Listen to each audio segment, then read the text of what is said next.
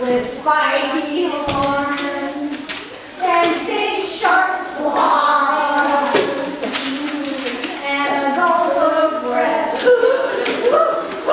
before he roars.